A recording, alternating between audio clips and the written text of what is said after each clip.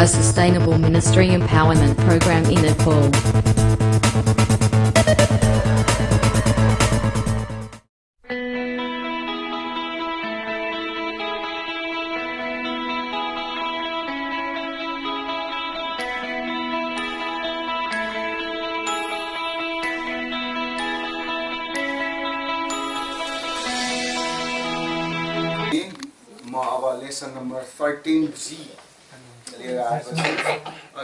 Number thirteen एफसम्म भएको छ अब लेसन नम्बर थर्टिन जी भएको छ।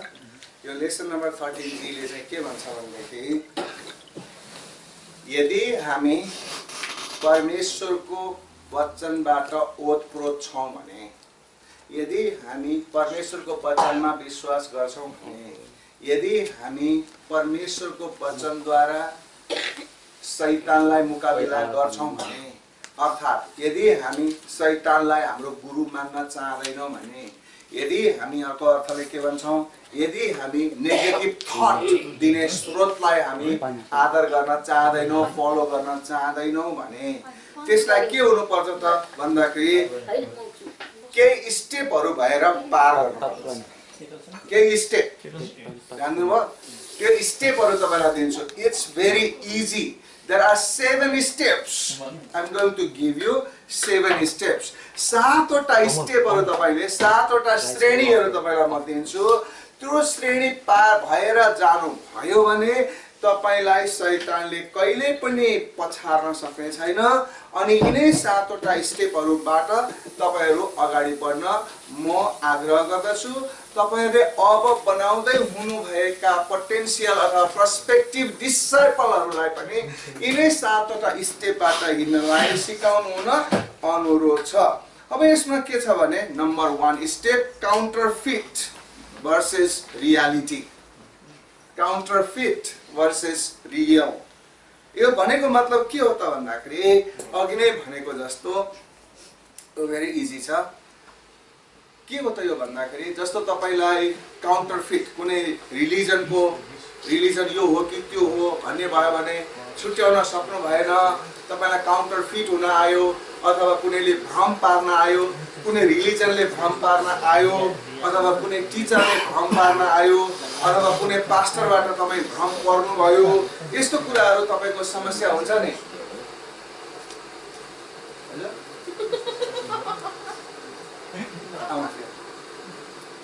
दिस इज your टाइम म बस्छु तपाईँको ए okay okay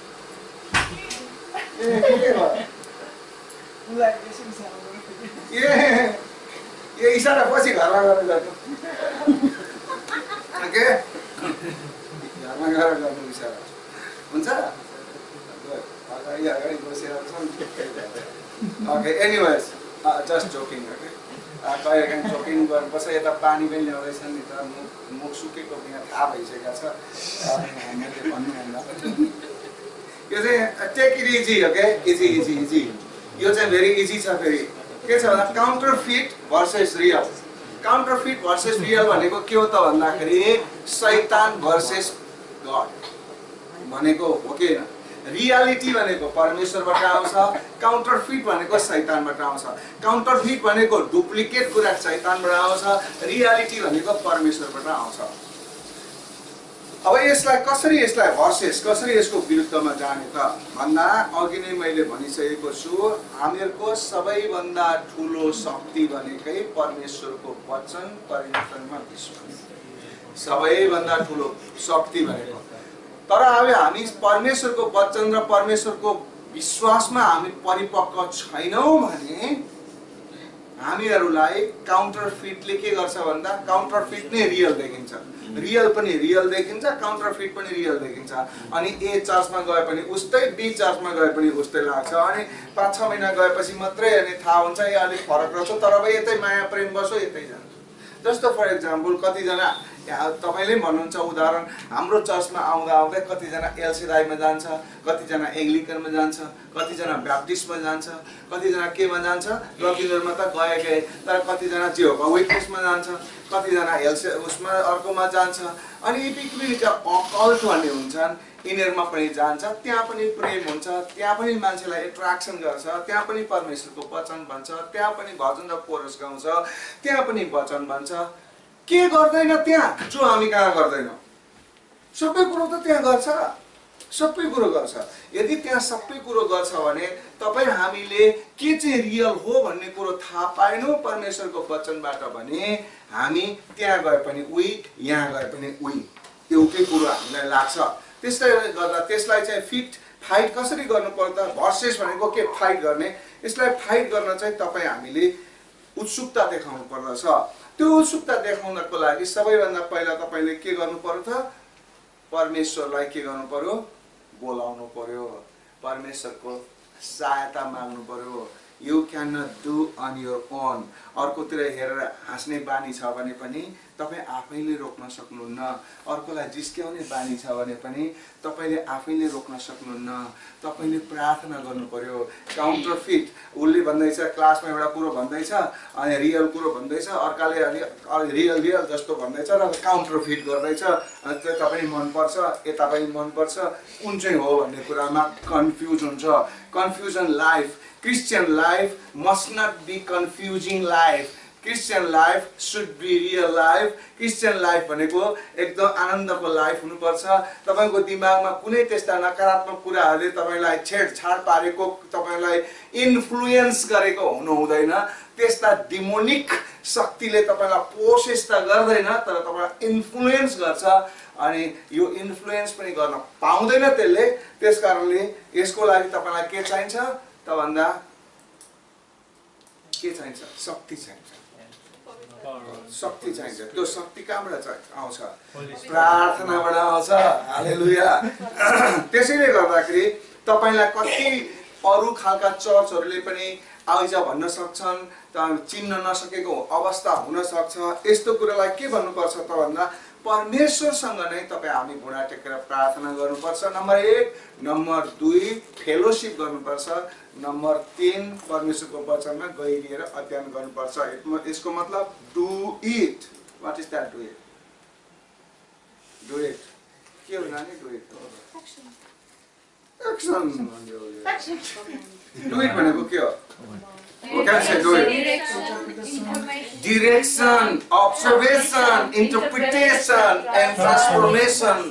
do it practice तपाईँले गर्नु पर्दछ अनि यसै कुरालाई चाहिँ तपाईँले स्पेसिफिक तपाईँलाई सल्लाह के छ भनेदेखि प्रार्थना गर्नु।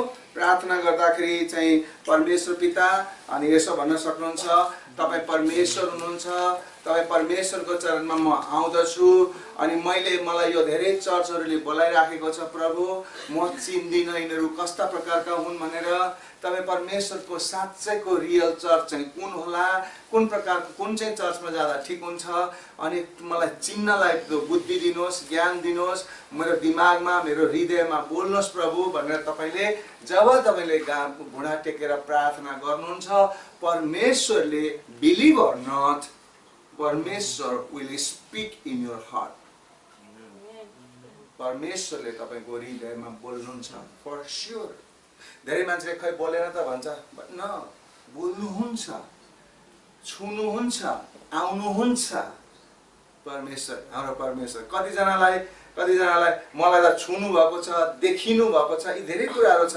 तपाईँहरूलाई नि कतिजना आत्मामा बोल्नु भएको छ अनि तपाईँलाई बोल्नु भएको कुरो अर्काले प्रुफ गरिदिन्छ। अनि त्यस्तो किसिमको कुराहरू हुँदछ। जस्तो अस्ति उदाहरणको लागि बिनुकै कुरा गरौँ। एनिवे नभएको मान्छेकै कुरा गर्दा राम्रो हुन्छ।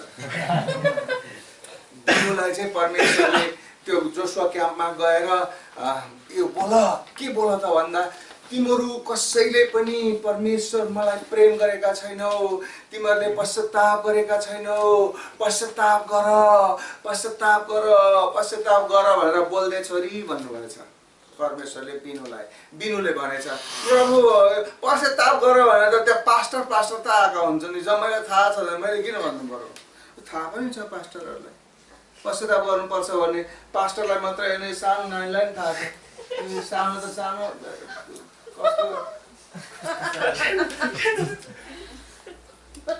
जसलाई पनि थाहा छ। सबैलाई थाहा छ। तर what is the difference they don't do it they don't practice it अनि अर्को कुरो थाहा छ? सैतानलाई के थाहा छ? थाहा छ? सैतानलाई बाइबलको सबै कुरो थाहा छ। बाइबलको सबै कुरो थाहा छ। परमेश्वरको प्लानिङै थाहा छ। सैतानलाई एभ्रिथिङ सैतान नोस उसलाई थाहा छ परमेश्वरको लागि को आज्ञा पालन गर्नुपर्छ परमेश्वर यस्तो हुँदा खुसी हुन्छ सबै थाहा छ। तर किन गर्दैन? त्यसै कारण सैतान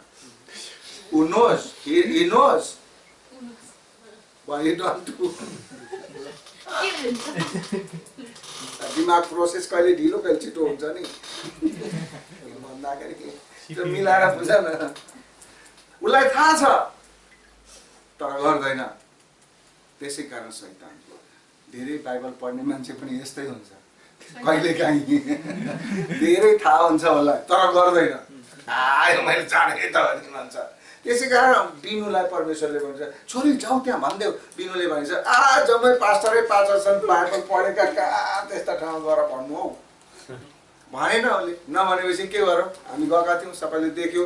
एकजना केटीले अगाडि गएर गवाई दिँदै थियो रुँदै रुँदै। परमेश्वरले यहाँ भन्नुभएको छ तिमीहरूले मलाई कहिले कसैले पनि प्रेम गर्दैनौ यहाँ भएको मान्छेले प्रेम गर्दैनौ तिमीहरू ढोगी हौ। परमेश्वर यसुलाई यसरी कुटेको यसरी यसरी घिसारेको मैले फिलिङ गरेँ। उहाँको रगत बगेको फिलिङ गरेँ। परमेश्वरले भन्छ भने कि भनेन?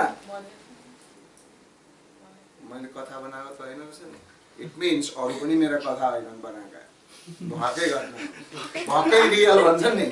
भक्कै रियल हो भक्कै रियल भन्छ।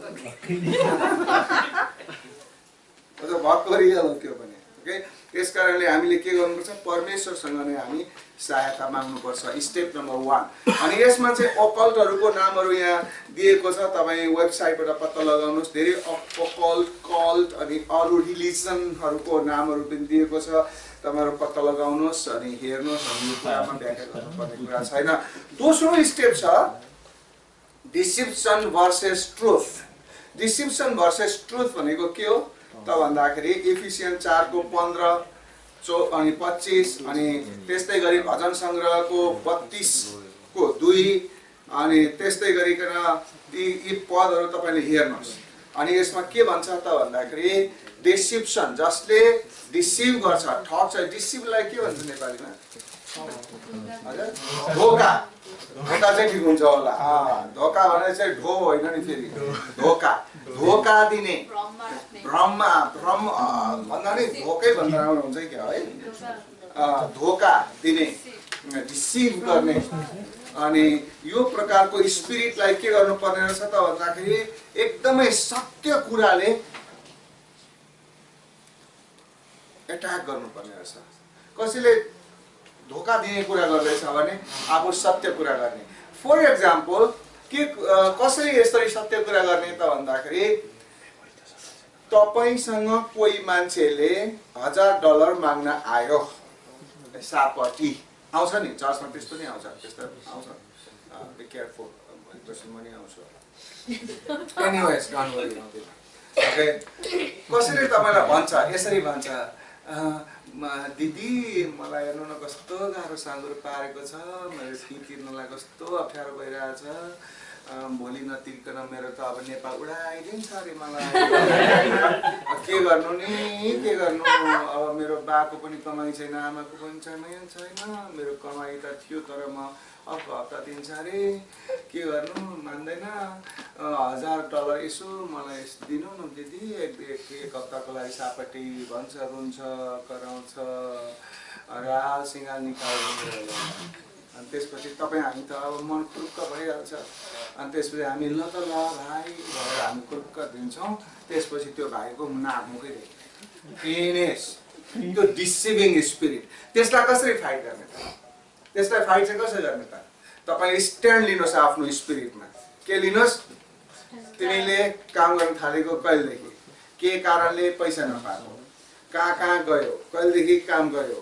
अनि यो दिँदाखेरि तिमीले मैले तिमीलाई मैले हजार दिएँ भने तिमीले पक्का गरिकन मलाई दिन्छौ भन्ने कुराको ग्यारेन्टी के छ?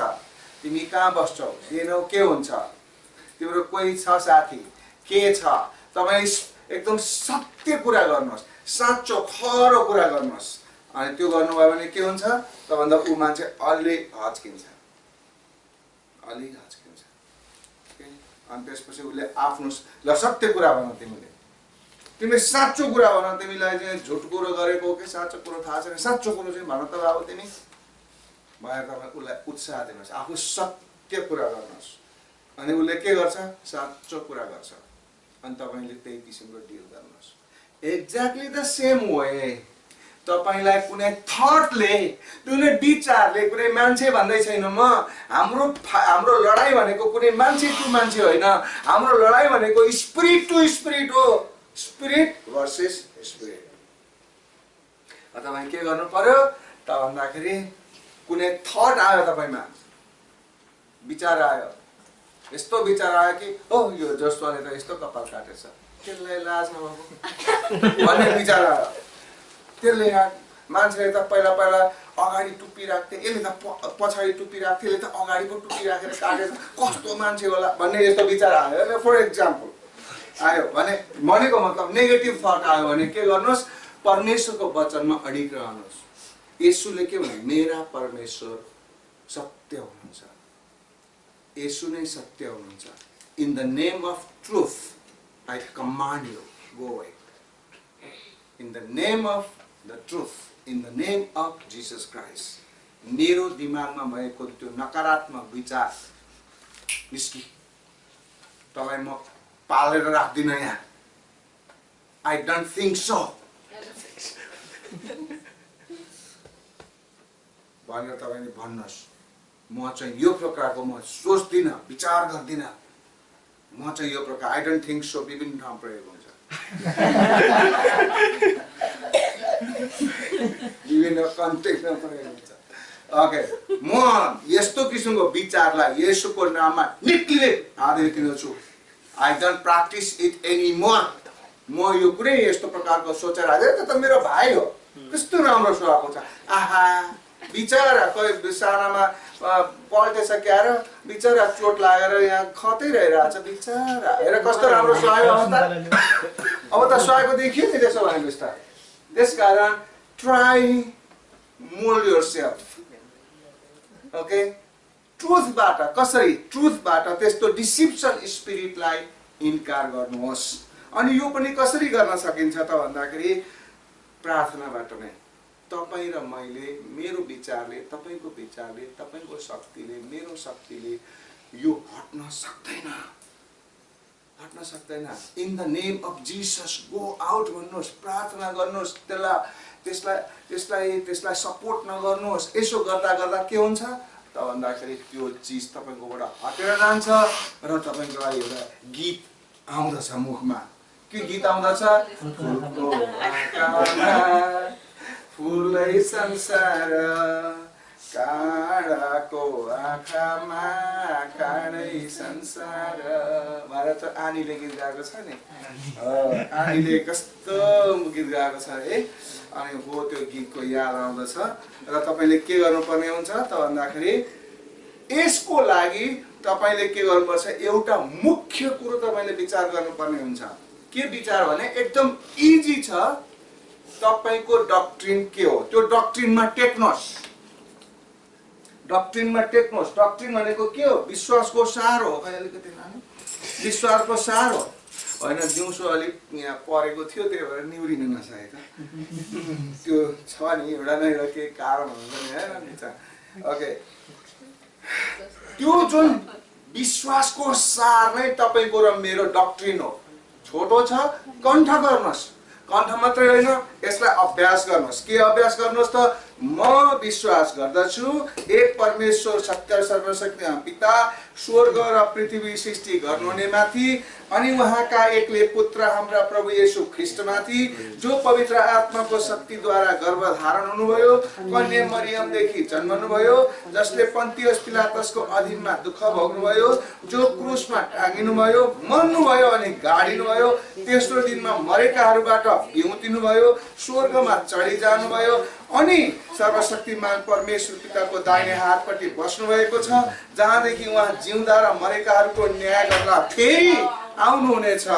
म विश्वास गर्दछु पवित्र आत्मामाथि पवित्र मण्डलीमाथि पवित्रहरूको सङ्गतिमाथि पाप मोचनमाथि शरीरको पुनरुत्थानमाथि र अजम्बरी जीवनमाथि। आमेन। त्योभन्दा तपाईँको अरू विश्वास गर्ने कुनै पनि ठाउँ छैन। This is your foundation of faith यसैलाई स्टेटमेन्ट अफ फेथ पनि भन्दछन् अहिले मैले वेबसाइट बनाउँदा स्टेटमेन्ट अफ फेथ लेख्नै पर्छ। नत्र भने मान्छेले यो मान्छे कस्तो विश्वास भन्ने बुझ्नलाई गाह्रो हुन्छ। त्यसकारण तपाईँको स्टेटमेन्ट अफ फेथ हुन जरुरी छ। त्यस्तै गरिकन यहाँ स्टेटमेन्ट अफ फेथ जस्तै डक्ट्रिनल एफर्मेसन भनेर भनिएको छ। डक्ट्रिनल एफर्मेसनमा चाहिँ नि म रिकगनाइज गर्दछु परमेश्वर पिता प्रभु येशू ख्रिस्ट पवित्र आत्मा सैतान को हो? आदि इत्यादि जम्मैको तपाईँले रिकगनाइज गर्नुहुन्छ अनि यहाँ तपाईँलाई दिएको छ डक्ट्रिनल एफर्मेसन भनेर दिएको छ। त्यो डक्ट्रिनल एफर्मेसन एफर्मेसन तपाईँ you know it you understand it you exercise it three things you know it you understand it you exercise it okay यति तपाईँले गर्नुभयो भने तपाईँलाई त्यसले डिसिप्सन गर्न सक्दैन। अर्को छ bitterness bitterness versus forgiveness bitterness for versus forgiveness पनि अर्कै कुरा हो। अनि यसलाई तपाईँलाई छोटकरीमा भन्दछु। अनि यो चाहिँ के हो त भन्दाखेरि यो के हो त भन्दाखेरि कसैलाई तपाईँले गल्ती गर्नुभयो कसैसँग तपाईँको टसल भयो कन्ट्राडिक्सन भयो तपाईँ तुरुन्तै जानुहोस् बाइबलले भन्छ घाम नहस्ताउँदै जानुहोस्। श्रीमान श्रीमती माने टाङ टाङ र टुङटुङ भयो भने घाम नहस्ताउँदै तपाईँले एकले अर्कालाई माफी दिने र माफी माग्ने माफी लिने माफी दिने क्लियर हुने काम गरिहाल्नु पर्दछ। घाम नहस्ताउँदै। घाम अस्ताउँदै झगडा भयो भनेदेखि तुरुन्तै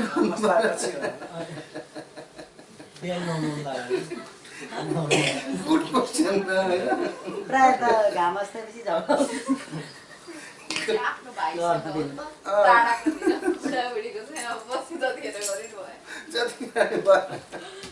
घाम अस्ताउँदै घाम अस्ताएपछि झगडा भयो भने घाम नझुल्किँदै तपाईँले गरिहाल्नुहोस्। क्षमा दिने लिने गरिहाल्नुहोस्। घाम झुल्किएपछि भयो भने घाम नअस्ताउँदै गर्नुहोस्। घाम अस्ताएपछि भयो भने घाम नझुल्किँदै क्षमा लिने र दिने गरिहाल्नु आवश्यक छ। त्यसकारण बिटरनेस भर्सेस फर्गिभनेस हुन जरुरी छ। यसको लागि पनि तपाईँले आफै गर्न सक्नुहुन्न। झगडा पर्यो के पर्यो भने पहिला नै माफी माफी भन्दै नजानुहोस् तर चाहिँ के गर्नुहोस् एकान्तमा जानुहोस् प्रार्थना गर्नुहोस् परमेश्वरसँग शक्ति माग्नुहोस् पवित्र आत्मा माग्नुहोस् अनि त्यो शक्तिका साथ तपाईँले मात्रै शक्तिका साथ मात्रै तपाईँले फर्गिभनेस गर्न सक्नुहुन्छ। तपाईँको इच्छाले गर्न सक्नुहुन्न त्यो त रिस भइरहेको हुन्छ। तपाईँ कन्ट्रोलै गर्न सक्नुहुन्न रिस कन्ट्रोल गर्न सक्ने भए त मान्छेले कतिले कतिलाई काटिदिन्थे मेरो साथीले नै आफ्नो छोरीलाई चक्क पारेर काटेको त तपाईँलाई भनिदिन्छ। भनेको थिएँ किन सुनेको थिएन? हुन्छ।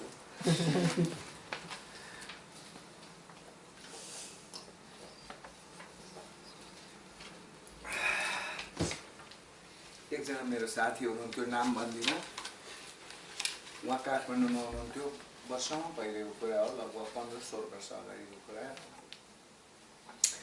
राम्रो जागिरे हुनुहुन्थ्यो पन्ध्र सोह्र वर्ष अगाडि सत् सत् अठारै वर्ष अगाडि होला म बिजनेस गर्थेँ। अनि उहाँले मलाई माल पनि सप्लाई गर्नुहुन्थ्यो। एक ट्रक माल उहाँले सप्लाई गर्दाखेरि दुई तिन सामानहरू। सप्लाई गर्दा अब त्यो वीरगन्जबाट इन्डियाबाट माल ल्याएर सप्लाई गर्नुहुन्थ्यो। एक ट्रक मालको तिन लाख चार लाख पाँच लाख पर्थ्यो। अनि त्यसपछि उहाँ चाहिँ यस्तो यस्तो माल चाहिँ काठमाडौँ उपत्यकामा धेरै ठाउँमा सप्लाई गर्नुहुन्थ्यो। उहाँको इन्कम पनि राम्रो थियो। उहाँ राम्रो एउटा कोठा पनि बस्नु भएको थियो। अनि त्यसपछि उहाँले एउटा छोरी पनि पाउनु भएको थियो।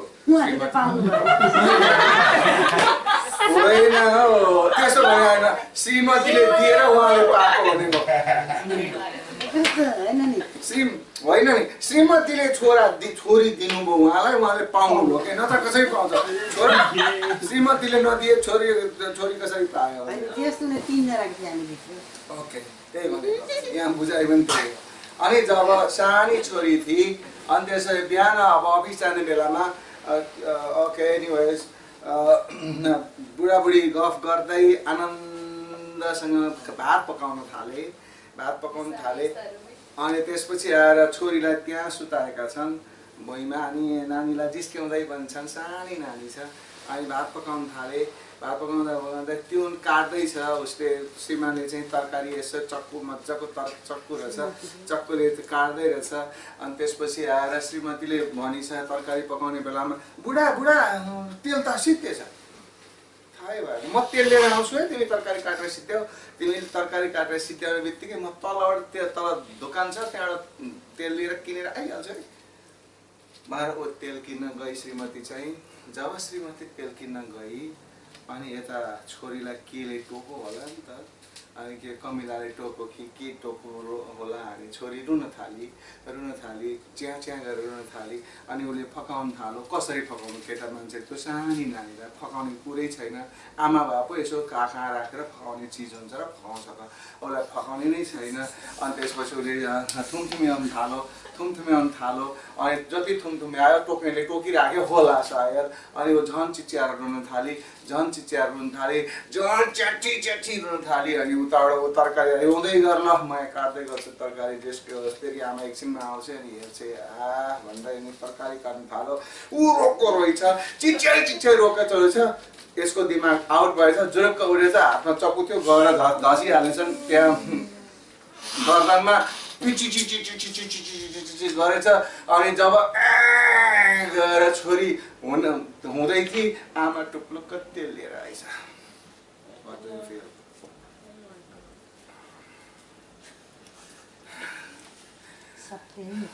त्यसपछि त्यसपछि अनि आतामा भएको चक्कु हेऱ्यो श्रीमतीलाई हेऱ्यो छोरीलाई हेऱ्यो। फ्ल्याट। रुन थालो आफै। रुन थालो मैले के गरेँ नि? मैले के गरेँ नि भनेर रुन थालो छिनाइ थाल्यो फिलिलिलिलिलिलिलि रगत र कामै बनाइहाल्यो। त्यसपछि बुढी रुन्छे छोरीको पिरले बुढो रोन्छ आफ्नै पिरले। अब म खतम भएँ मेरो जीवन खतम भयो मेरो बिजनेस खतम भयो मेरो लाइफ खतम भयो। मैले के गरेँ यो? एकछिन रुनु दिएको त हुन्थ्यो नि बरु उठेर उता गइदिएर हुन्थ्यो नि। के गरेँ मैले तरकारी काट्दा काट्दै? त्यही चक्कुले त्यो कलिलो गला यत्रो बलियो हातले छ्याक्क धसाउँदाखेरि छ्याक्कै छिटिहाल्यो त्यो आमाले त्यो देख्नु त्यहाँ त हालत कस्तो भयो? यु क्यान इमेजिन त्यसपछि दुवैजना रुन थाले। अब छोरी त अब सकिहाले दुवैजना रुन थाले। अनि त्यसपछि पुलिसलाई फोन गरे आफैले। यस्तो गरेँ मैले। यस्तो हुन गयो। भनेर उसले फोन गरे आफै। अनि पुलिस आयो तत्काल अनि पुलिसले उसलाई हातकडी लगायो अनि त्यसपछि लिएर गयो। कन्सिक्वेन्सेस उसको लाइफ उसको फ्यामिली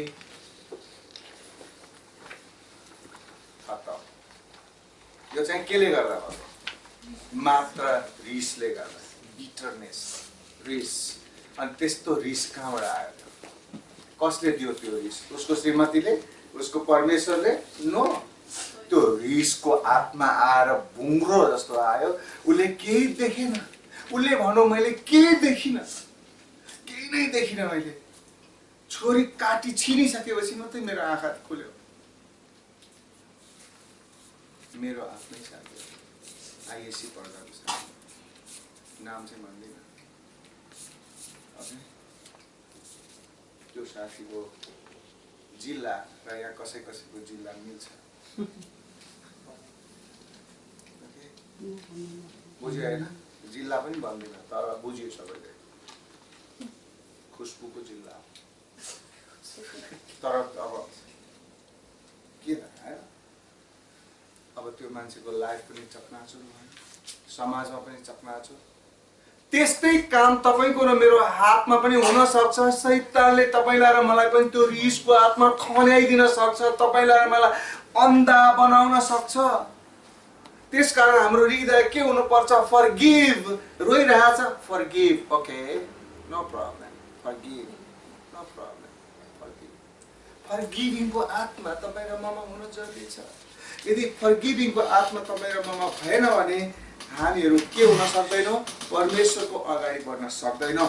त्यस कारणले यो तेह्र जीमा तपाईँलाई मैले के भने त भन्दाखेरि यो लेसनको अन्त्यमा तपाईँलाई म भन्दछु कि तिनवटा कुरा सातवटा कुराहरूमध्ये तिनवटा कुरा भनेको छु एउटा चाहिँ काउन्टरफिट भर्सेस रियल अर्को चाहिँ तपाईँलाई के भनेको छु त भन्दा डिसेप्सन भर्सेस ट्रुथ अनि अर्को चाहिँ भनेको छु अनि डक्ट्रिनल एफर्मेसन त्यो तपाईँहरूले थाहा पाउनुपर्छ अनि तेस्रो कुरो भनेको छु बिटरनेस भर्सेस फर्गिभनेस अनि यो कुरा तपाईँहरूलाई बताएको छु अब हामी अर्को एउटा छोटो लेसन हेर्नेछौँ।